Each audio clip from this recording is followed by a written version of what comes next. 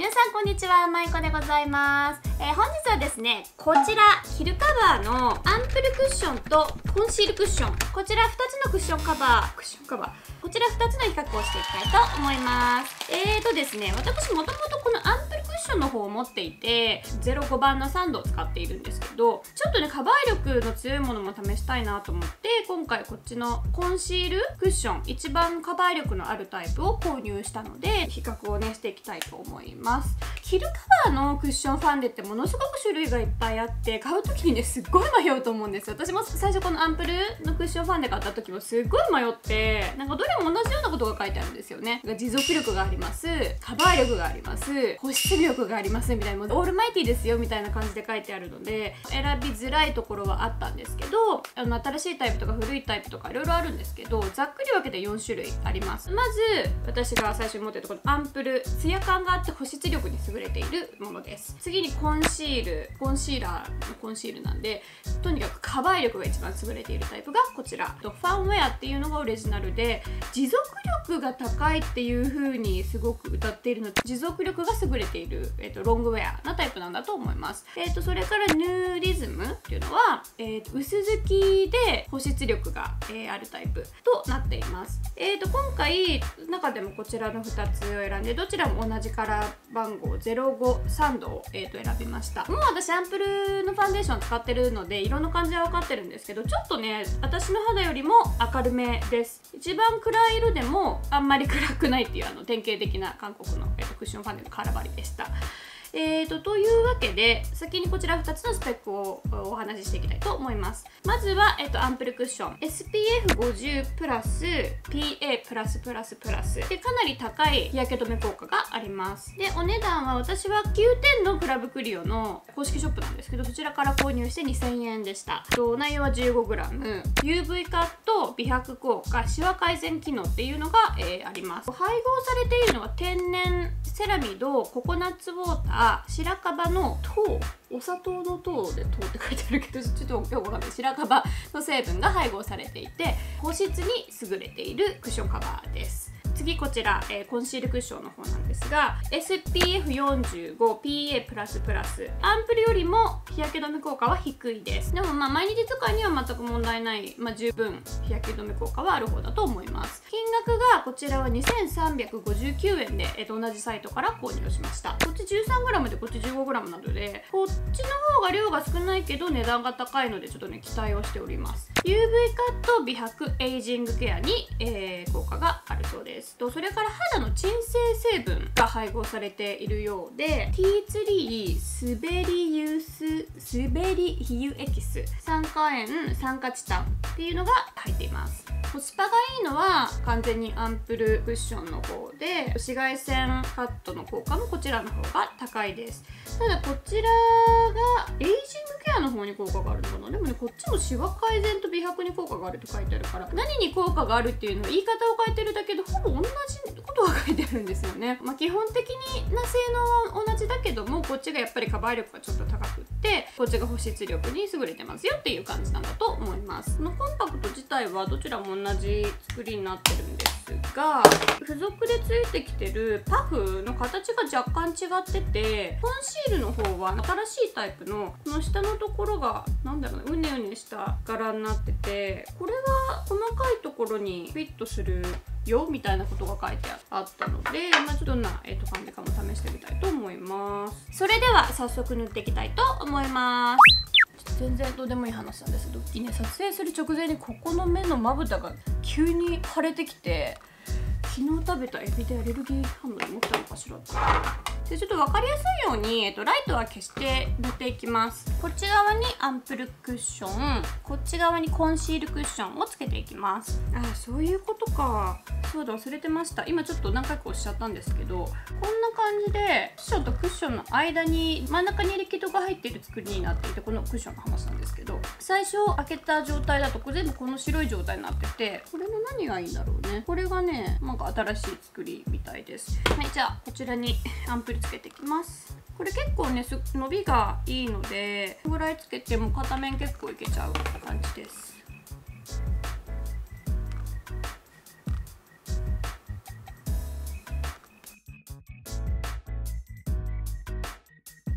今こちら側にアンプルクッションを塗りました。今こちらは何も塗ってません。じゃあ、えーと、こっちにコンシールつけていきます。えーと、こちらもオンラインの説明の方にちょっとでかなり伸びるので受けすぎないようにみたいなことが書いてありました。あこれもえっと半分ぐらいかなこれも。おおすごい。あ全然違う。わーあちょっと濃いな逆にこっちの方が。あすごい。が私好きだわもうもう好きだわセミマットですねちょっとこっちのこっち側で押してみたいと思います指紋みたいな柄になってるのでうん、指で押さえる感じの効果があるのかな？っていう印象です。なのでこういうとことかこういうとことかあと目の下とかもいいかもしれないです。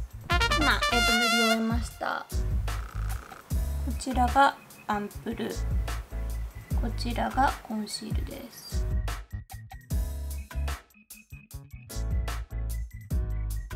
これ画面を通してあまり伝わらないかもしれないんですけどコンシールの方がちょっと赤みが強くってちょっとだけ暗い気もしますコンシールあのカバー力が高いタイプなんで色がねしっかり発色するのがこちらなので多分同じ色味だけどもこっちの方が暗くて赤みの強い感じになっているのかな。あとこの毛穴のカバー力についてなんですけど、えっと、どちらもこうやって下から押し上げるようにこんな感じで塗り上げて、えっと、埋める感じで塗ってるんですけどこっちの方が目立たない感じがします。まあねどちらも同じように完全には埋められていないんですがこっちの方のが綺麗にカバーできているかなっていう印象です。シミのカバー力を見てみるとまずこちら側ここにね大きいのがあるんですがまあふんわり周りはね馴染んでいるけども完璧には隠せてないかなっていう感じです。でこちらの方はまあねここにだんだんだんと大きいのがあってあとこの辺もねちょっと私怪我を昔してて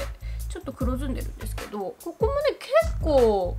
結構カバーできてまあね完全にはそれできないんですけど結構大きなシミで暗い色なんでそれでもいい結果かなっていう感じがします。まあって感じでなんか私の最初のインプレッションあの最初の印象はこっちはセミマットで色ムラも綺麗にカバーしてくれます。なんか特に私の年代だとシミが多すぎてこう全体に黒ずんで見えちゃうことがまあ私の場合は特にそうなんですけどなんかそういうのもしっかりねこれはカバーしてくれているので私私はとても好きです。アンプルの方はツヤっていうよりもなんかナチュラルっぽい感じですね。私あのミシャの大人クッションのも持ってるんですけどなんかそれもっとペッカペカになるけどそれほどペッカペカにならないです。それよりもナチュラル好き。自然の元の肌にちょっとカバー力をプラスした感じかな？もともと肌の綺麗な人がこれつけたら綺麗なんじゃないかな。私やっぱり元の肌がそんなにねあの悩み大きい肌なんでもうこっちの方に助けを借りたい感じがしますが。ああとなんかこういう風にやったりとかすると小じわがこっちよりこっちの方が目立ちます。本当はこっちの方の方が小じわが目立たないっていう手だと思うんですけど、うん、って感じです。あとは、えーと、持続力を見てみたいのでまた夜にね、えー、チェックしたいと思います。それでは後ほど。こ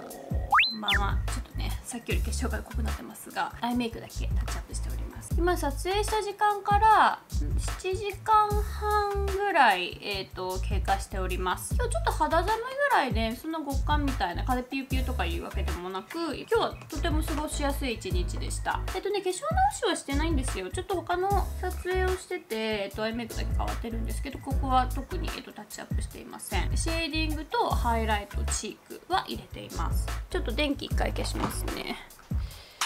これ今電気を消した状態です。アップでアンプルえーとなんだこっちキルえーとコンシール。なんかねアンプルの方のが保湿をしてくれるはずなのに乾燥小芝が結構気になるんですよ。逆にこっちは確かに崩れてないっちゃ崩れてないんですよ。シミ自体は最初に塗った時ぐらいからあんま変わってないんでまあこっちの方がロングウェアなのかなっていう気はします。こっちはねなんかもともとシミはそんなに綺麗に隠れてなかったからそれプラス今乾燥小じわがすごい目立っても全然ね明らかに違う。こうやって全然違うもん。こっちの方がシワシワしてる。どっちも毛穴うちはぼちぼちてるけどコンシールの方のが崩れ方が綺麗な気がします。なんかねほんとこっちシワシワしてんだよね。まとめますと私はこっちの方が好きです。コンシールクッション。ロングウェアなのもこっちだと思います。こっちを選ぶ人ってツヤ肌を求めてる人だとは思うんですけどツヤ肌自体は持続はあんまり私の肌ではしなかったのでこっちの方が私は好きかな。まあきっとえっともともと肌が綺麗で毛穴とかも乾燥小じわとかもない健康的なお肌の方はこちらの方のが自然に見えていいのかもしれません。でもやっぱり私みたいに30代でお肌の悩み多くでシミもあるし毛穴も気になるし乾燥もするしっていう人は、えっと、こっちの方のがいいんじゃないかなっていう気がします。というわけでいかがでしたでしょうか？今回の動画役に立ったよっていう方はぜひいいねボタンをお願いします、え今後もいろんな動画アップしていこうと思うのでぜひ興味のある方はチャンネル登録をお願いします。それではまたお会いしましょう。See you next time!